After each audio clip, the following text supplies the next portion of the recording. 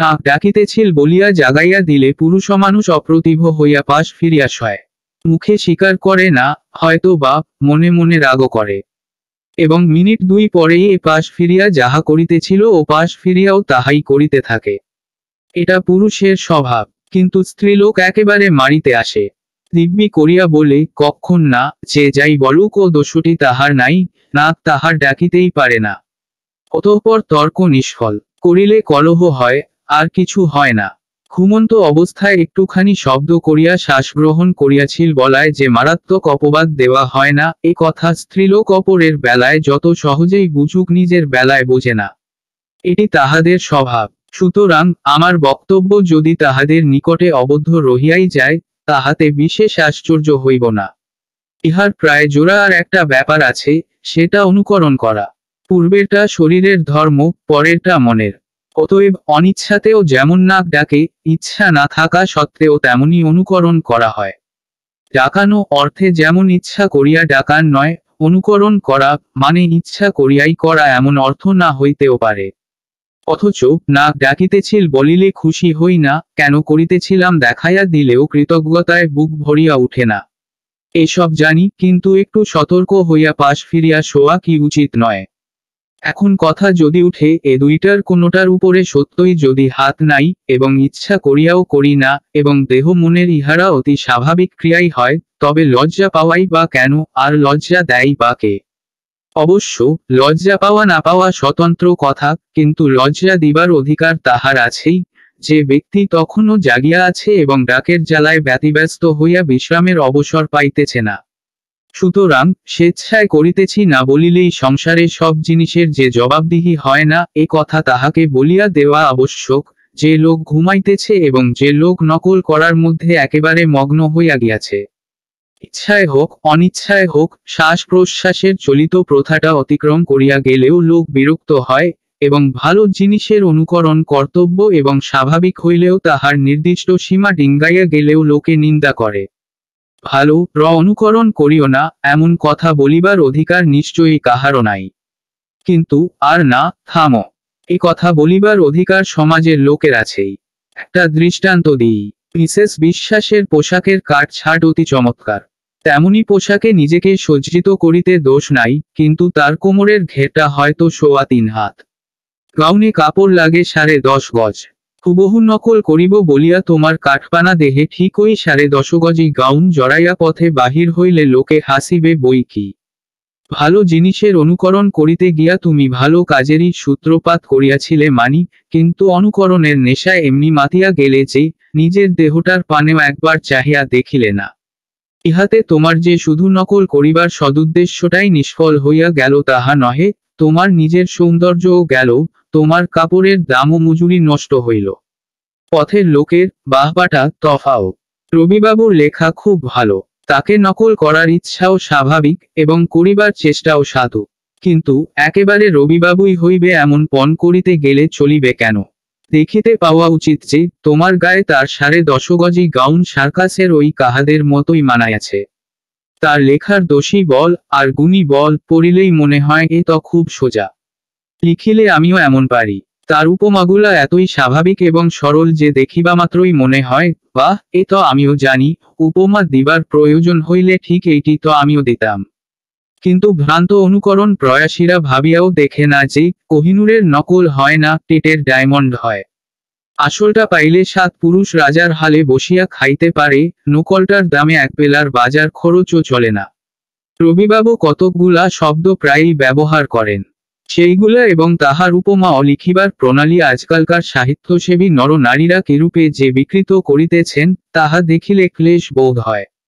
তিনি যাহাদের গুরু, তাহাদের উচিত তাকে বুঝিবার চেষ্টা করা, তাকে শ্রদ্ধা করা।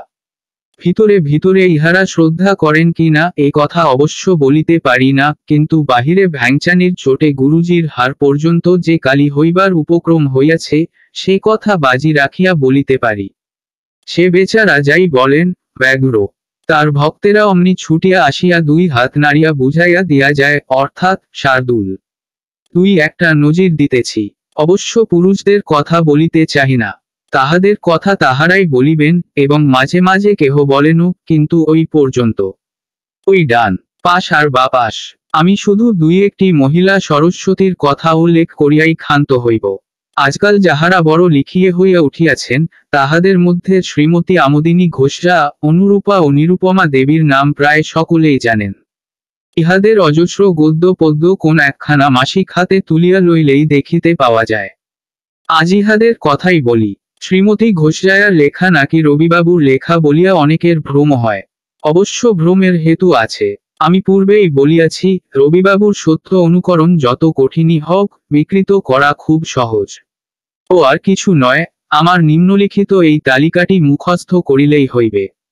যদি মুখস্থ না হয়, বড় বড় অক্ষরে লিখিয়া টেবিলের সম্মুখে টাঙ্গাইয়া দিয়া নিজের রচনার মধ্যে মধ্যে এক একটা প্রবেশ করাইয়া দিলেই কাজ হইবে। হরির লুটের বাতাসা কোচরেই পড়ুক, আর পায়ের নিচেই পড়ুক, নিষ্ফল হইবে না। মুখস্থ করুন পরিণতি, বিশ্ব, মানব, দেহার নয়, ভূমিষ্ঠ, গরিষ্ঠ, মুখর, চাই, বনস্পতি, প্রয়োজন হইয়াছে, ফাঁকি, দৈন্য, পুষ্টি সাধন, দেবতা, অমৃত, শ্রেয়, ভূমা, আশীর্বাদ অর্ঘ্য আবহমানকাল শ্রেষ্ঠ, বাণী, খাঁটি, ভারতবর্ষ, নিষ্ঠা, জাগ্রত, জন্মসত্ত্ব, তিন আসিয়াছে, তপশ্চর্যা, বৈরাগ্য, শ্রদ্ধা, জোনাই খাটো, পাতলা, রাগ পড়িয়া গিয়াছে, মুক্তির আনন্দ ও ত্যাগের আনন্দ। বাস, এই কয়টিই যথেষ্ট। একটা রচনার মধ্যে সব কটা ব্যবহার করিতে পার উত্তম, না পার ভূমা অর্ঘ দেবতা, বৈরাগ্য ও ভারতবর্ষ এই পাঁচটি চাই। অন্যথা রচনাই নয়। এখন কেহ যদি অবিশ্বাস করিয়া বলেন, তা কি হয়? শব্দগুলা যদৃচ্ছা গুজিয়া দিলে লোকে ধরিয়া ফেলিবেচে ইহার উত্তরে আমার নজির দেওয়া ছাড়া আর উপায় নাই। গত অগ্রহায়ণের ভারতীতে শ্রীমতী আমোদিনী ঘোষজায়ার আট পাতা জোড়ায় এক প্রবন্ধ বাহির হইয়াছিল। নাম, মনুষ্যত্বের সাধনা। টাইটেল দেখিয়াই, বাপরে, করিয়া উঠিলে চলিবে না। ভক্তি করিয়া পড়া চাই। আমার তালিকার প্রায় সকল শব্দগুলাই ইহাতে আছে, সুতরাং ইহা খুব ভালো এবং শিক্ষা হইবে। তবে, অভিধানের সাহায্যে সবটুকু পড়িয়া কেহ যদি শেষকালে বলেন, এই আট পাতার তো আট সতেরো মানে হয় না, তাহা হইলে আমি চুপ করিয়া থাকিব বটে, কিন্তু কবুল করিব না, এবং মনে মনে রাগ করিয়া বলিব, তবু তোমার শিক্ষা হইল তো। যাহা হোক আমি নজির দিব বলিয়াছি, কিন্তু সমালোচনা করিব বলি নাই। সমালোচনা করা পণ্ডশ্রম। আমি বলিব, তোমার রচনার মানে নাই, তুমি জবাব দিবে, আছে। আমি বলিব, এই জায়গাটায় বাড়াবাড়ি করিয়াছ, তুমি বলিবে, একটুও না, এমন না করিলে লেখা ফুটিত না। আমি বলিব, এই স্থানটার আর একটু প্রকাশ করা উচিত ছিল, তুমি বলিবে, নিশ্চয় না, আর প্রকাশ করিতে গেলে আর মাটি হইয়া যাইত। বাস্তবিক, এই সব তর্কের মীমাংসা হয় না। একেই লেখা বলে এই বিবেচনার উপর এই লেখকের যথার্থ কৃতিত্ব নির্ভর করে। সমালোচনা করিয়া দোষগুণ দেখাইয়া নিন্দা বা সুখ্যাতি করা যায় বটে, কিন্তু আর কোন কাজ হয় না। যাহা হোক যাহা বলিতে চাহিয়াছিলাম তাহাই বলি। উক্ত প্রবন্ধে শ্রীমতী ঘোষা বলিতেছেন, ভারতবর্ষ আকস্মাত আজ স্বপ্ন হইতে জাগিয়া দেখিতেছে সে জনপদের পথ ধরিয়া সে চলিতেছিল তাহা প্রকৃত নয়। মায়া সৃষ্টি মাত্র আকস্মাত আজ তাহা দিগন্তবিলীন বাণীর ভিতর কোথায় মিলিয়া গিয়াছে? ভাষা বটে। জনপদের পথ দিগন্তবিলীন বাণীর মধ্যে মিশিয়া গেল। জিজ্ঞাসা করি, রবিবাবু কোথাও কি এমনি করিয়া বাণীর শ্রাদ্ধ করিয়াছেন? কিছুদিন পূর্বে লেখিকা বিকাশ পত্রিকায় একটি দশ বারো লাইনের কবিতায় ওম এর সঙ্গে মিলাইবার জন্য শশী সূর্যসোম লিখিয়াছিলেন। কবিতার কথা না হয় নাই ধরিলাম, কেননা ওম এর মো সোম ছাড়া মিলিতে চায় না। শশী টিকে ওবাদ দিলে অক্ষর কম পড়ে। কিন্তু জনপদের পথের তো অমন কোন ধনুক ভাঙ্গা পণ ছিল না যে ওই বাণীটি না পাইলে আর মিলিত না। কবিকে অঙ্কুশ দেখাতে নিষেধ আছে তাহা মানি, কিন্তু তার্কিক যখন ঘর ছাড়িয়া লাঠি হাতে মারিতে আসে তখনও যে একটুখানি আত্মরক্ষার চেষ্টা করিতে নাই এ কথা মানি না। সেটা কাবি কিন্তু এটা যে দার্শনিক প্রবন্ধ। দার্শনিক প্রবন্ধ যখন একশো টাকা দাবি করে, তখন সে ওই ক্ষুদ্র তিনটি অক্ষরের একশো টাকাই চাই, তাহাকে নব নবতির রজত মুদ্রা দিতে গেলে সে হাত পাতিয়া গ্রহণ করে না। কিন্তু আসল কথা এই যে, বাণী রবিবাবু লেখেন, সুতরাং সেটা চাই। যদিও নাটক নভেলে অত দোষ নাই, তথাপি অনুরূপা পোষ্যপুত্রে লিখিলেন, পথে শব্দ মুখর হইয়া উঠিল, তখন শব্দ শব্দায়মান হইয়া উঠিল, বলা নিশ্চয়ই তাহার অভিপ্রায় ছিল না, কিন্তু মুখর কথাটার ঠিক মানেটাও তো তার জানা উচিত ছিল। চোর করিয়া নির্লজ্জ অর্থ করার চেয়ে বরং বলা ভালো, কি করিব ওটা যে আমার। চাই, ওটা মহতের ইত্যাদি। শ্রীমতী অনুরূপা আর এক স্থানে লিখিতেছেন, ক্ষেত্র কর্ষিত হইলে শস্য দান করে, পতিত থাকিলে কণ্টক গুল্মের আবাসভূমি হয়। সুতরাং ভারতবর্ষের নৈতিক ক্ষেত্র আকর্ষণে যে কণ্টক গুল্মে আচ্ছন্ন হইয়া উঠিবে, ইহা কোন স্বভাব বিরুদ্ধ ব্যাপার নহে। বনস্পতি এ কাননে পূর্বে বিদ্যমান ছিল বটে, কিন্তু এখন তাহা বল্মিক ও লতাস্তূপে এমন করিয়া ঢাকিয়া পড়িয়াছে, তাহাকে আর চিনিয়া বাহির করিবার বুঝি কোন উপায় নাই। ছিল ক্ষেত্র এবং শস্য, আসিল কানন ও বনস্পতি।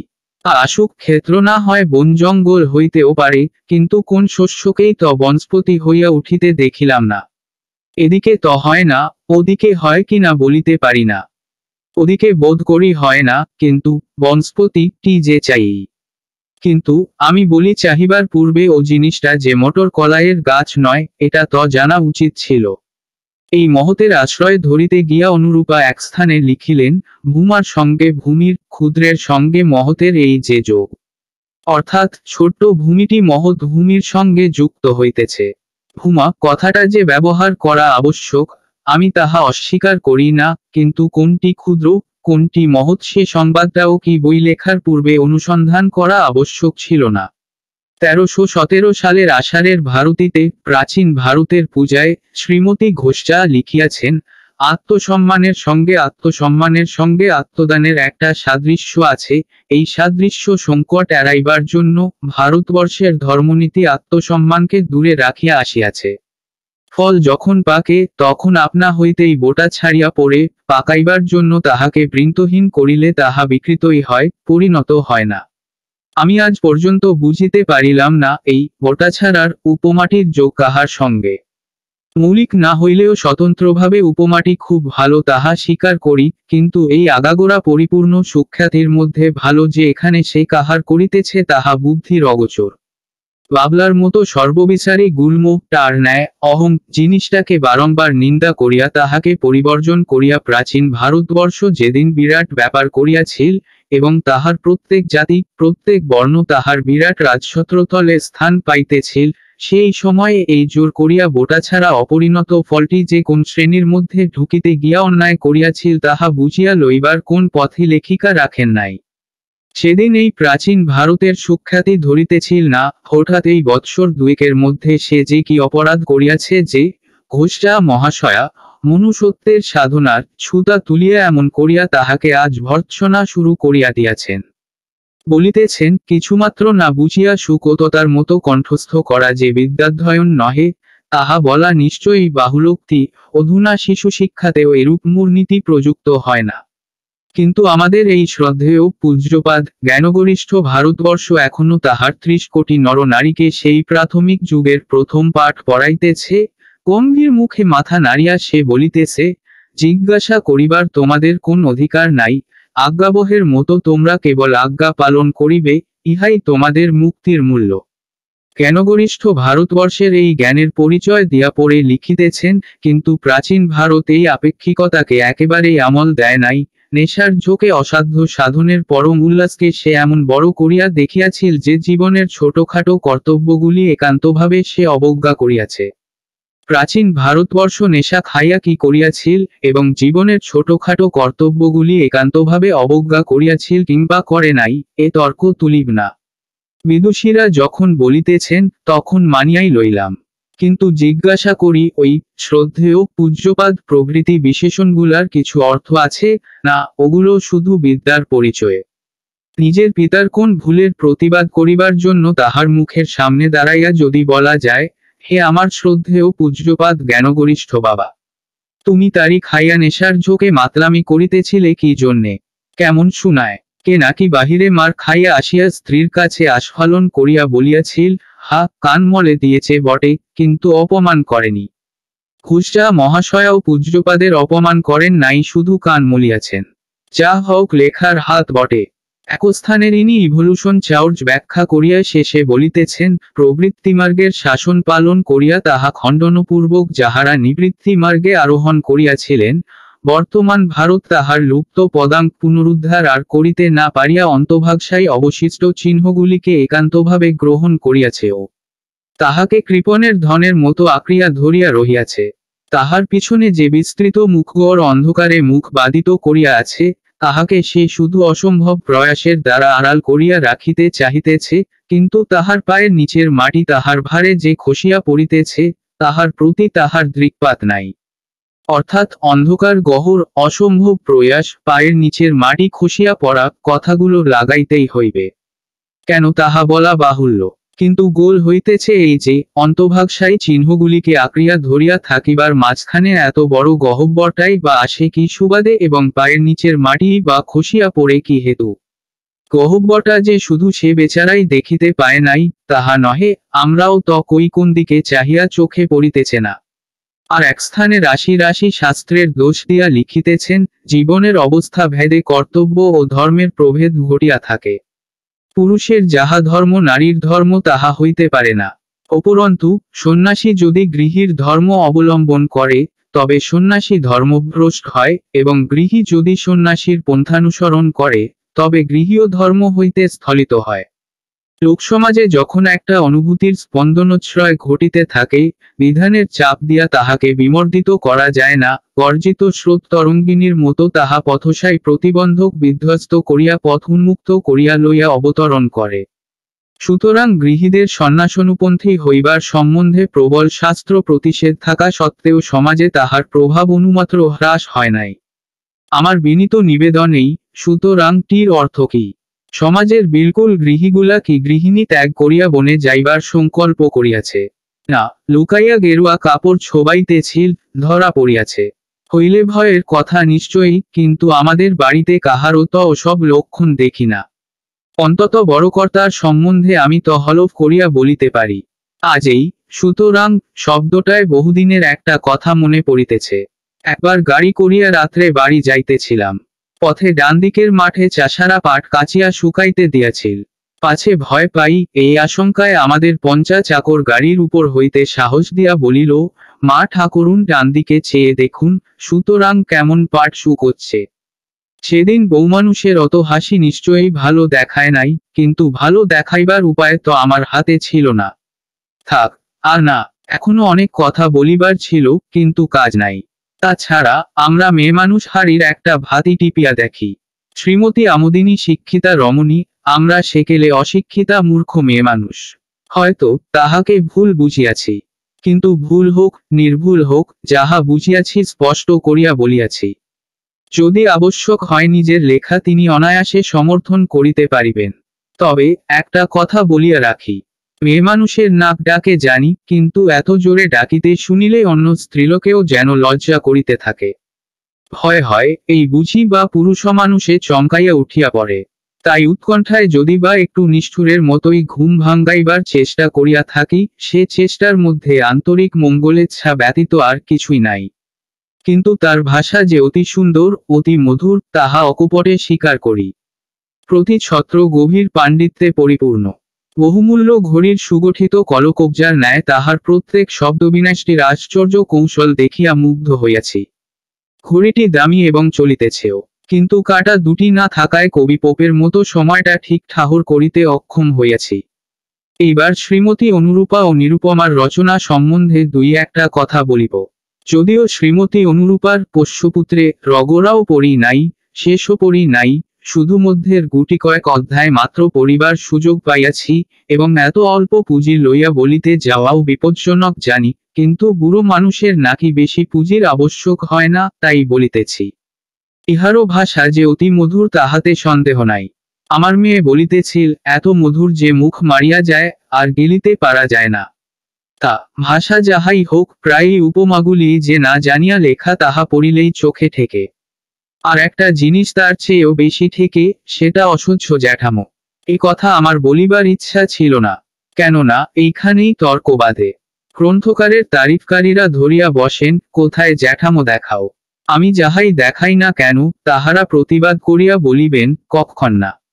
এটা হিউমার, ওটা উই, সেটা আর্ট ইত্যাদি।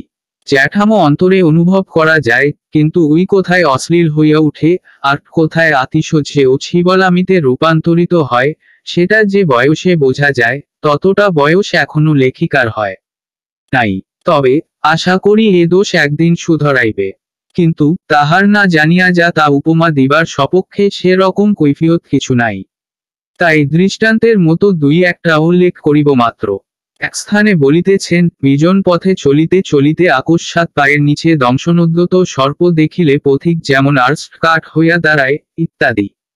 তাই বটে। একটা ন্যাকড়া কিংবা দড়ির টুকরা দেখিলে লাফাইয়া কে কার ঘাড়ে পরিবে ঠিক থাকে না আর্স হইয়াই দাঁড়ায়।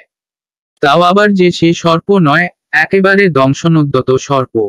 ইনি যে লেখেন নাই, রান্নাঘরে হঠাৎ জ্বলন্ত আগুনের টুকরা পায়ের নিচে মারাইয়া ধরিয়া রাধুনি যেমন অবাক হইয়া হা করিয়া দাঁড়ায়, ইহাই পরম ভাগ্য। আর এক স্থানে লিখিতেছেন, দীপ্ত সূর্যালোকের উপর মেঘ আসিয়া পড়িলে তাহা যেমন এক মুহূর্তেই ম্লান হইয়া যায়, শিবানীর মুখ তেমনি মুহূর্তে অন্ধকার হইয়া আসিল। এটা অলংকার না উপমা, কিন্তু দীপ্ত সূর্যালোকের উপর মেঘ আসিয়া পড়িলে কি হয়? সাদা দেখায়। কিন্তু লেখিকা ওই যে ম্লান বলিয়াছেন, কাজেই তাহার অন্ধকার মুখের সহিত সূর্যালোক পতিত মেঘের তুলনা করিবার অধিকার জন্মিয়াছে। এই কি? আর এক জায়গায় গভীর কৃষ্ণবর্ণ মেঘের গায়ে বক প্রভৃতিকে উড়িতে দেখিয়া তাহার মনে হইয়াছে যেন কৃষ্ণ তার কা উড়িয়া যাইতেছে। কালো মেঘের তলায় বক কি কৃষ্ণতারকার মতো দেখায়? তাছাড়া কৃষ্ণতারকা ই বা কি? রাত্রে আকাশের পানে চাহিয়া কোনোদিন ত কালো কুচকুচে নক্ষত্র চোখে পড়ে না। আর যদি চোখের তারাই হয়, সেও ত সাদা পদার্থের মাঝখানে থাকে। কালো মেঘের সঙ্গে তাহার সাদৃশ্যই বা কোথায়? প্রকৃতি দেবীর উপর এই রকমের উৎপাত আরও অনেক আছে, সেইগুলি একটুখানি হুশ করিয়া করা উচিত ছিল। কেননা, নিজে যাহা জানি না, তাহা না জানানি বুদ্ধির কাজ। যা হোক বইখানি শুনিয়াছি পাঁচ। ষষ্ঠ পাতার আমি মাত্র পঁচিশ। ত্রিশ খানি পাতা পড়িয়াছি, সুতরাং আশা করিতেছি, যাহা পড়ি নাই তাহার মধ্যে ভালো ভালো জিনিসই রহিয়া গিয়াছে। মেয়েটাও বলিতেছিল, বইখানি জ্ঞানগর্ভ। Veda, Quran, Bible, Ramayana, Mahabharata, ethics, metaphysics, রামপ্রসাদী, তন্ত্র, মন্ত্র, ঝাড়ফুঁক, মারণ উচাটন বশীকরণ, সমস্তই আছে। এছাড়া সংস্কৃত, হিন্দি, ইংরেজি, কালিদাস, শেক্সপিয়র টেনিসন যাহা কিছু শিক্ষা করা প্রয়োজন একাধারে সমস্তই।